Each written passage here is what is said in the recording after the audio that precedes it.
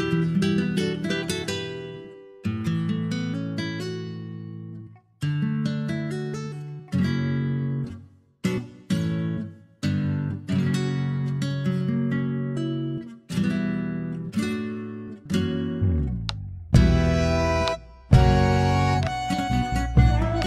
donde nuestra madre tierra se ve asediada por estas grandes empresas.